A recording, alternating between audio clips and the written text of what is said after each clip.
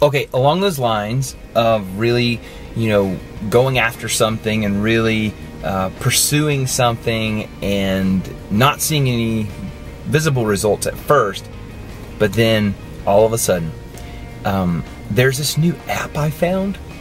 Now, this is for you if you are pray- the praying kind. Okay, this is this is like a prayer app. I know this sounds kind of weird. I mean, what does the app do? Pray for you? No, it doesn't pray for you. But there's this, it's free. Uh, I think it's just iOS, uh, Apple stuff right now. But it's called Echo. There it is. There's the icon right there, Echo. I'm gonna open it. Okay, this is a super simple app. It's beautifully designed for you people out there that like good design like me. It does two things, okay? It, uh, you can pray now when you click that button it gives you like some prayers that you've entered say, I want to pray for Olivia, I want to pray for this, I want to pray for that. And you set a time and it kind of puts your phone on do not disturb, so to speak, in the sense of it clears the screen and just puts that word or words or description on the screen. You pray for that, then it gives this really awesome sound. It has great sound. Uh, and you move on to the next one. So that's like a prayer time. Then you can mark some of them as answered, etc., etc.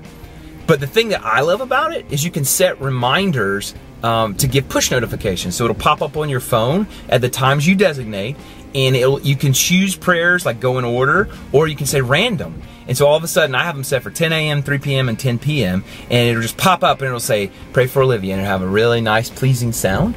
And then all of a sudden, whatever I'm doing, I mean, it's, it's I've used this for like three days now. Like whatever I'm doing, I just stop and I say, you know, I just give a little prayer for Olivia um, or for whatever, for, for my family, whatever you've put in there, that's up to you, right? It's not going to designate those things for you.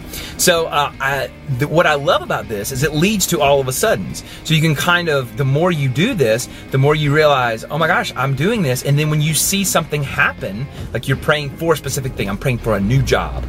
And then all of a sudden, all of a sudden, new job opportunities come up. You can go, wow, it's because of the prayer app. No, it's not because of the prayer app.